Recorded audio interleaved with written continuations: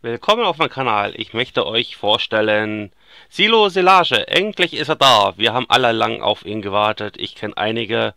Und natürlich, was braucht man dazu? Den UPK-Mod von Mod 2000. Link findet ihr natürlich bei mir unten in der Beschreibung.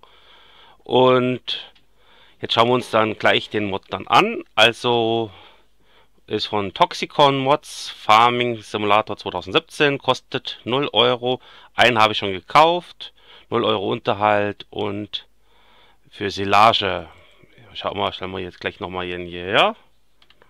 Drehen wir gleich also das entsprechend. Na, wo ist es jetzt? Ich möchte den drehen. Na, jetzt das. Was ist jetzt da?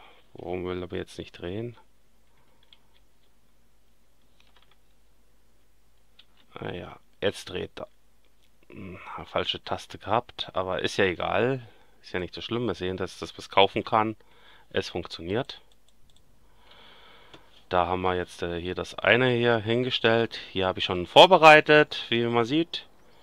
Einen ganzen Hänger voll Häckselgut. Wir steigen jetzt gleich hier in die Krone Big X 1100 ein.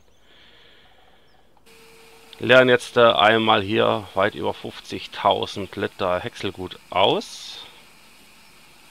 Reingehen 700.000 Liter, soweit ich gelesen habe.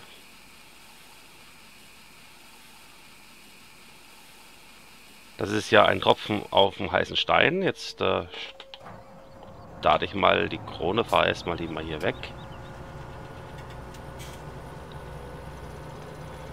Der braucht eine gewisse Zeit, wie ich gelesen habe. Also ich glaube, der macht die 150 Liter oder irgendwas. Aber das sehen wir ja dann gleich.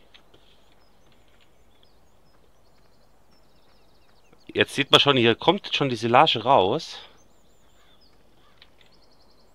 Also ich habe jetzt schon hier 202 Silage jetzt drin. Jetzt drehen wir mal die Zeit vor. Und jetzt sieht man hier der Hänger, der wird rasend voll. Also bekommen jetzt Silage. Leider habe ich jetzt den Spion da nicht äh, an. Aber ist ja nicht schlimm. Ist jedenfalls ein super Mod. Also mir gefällt das so und so. Der bleibt bei mir in meinem Mod-Ordner drin.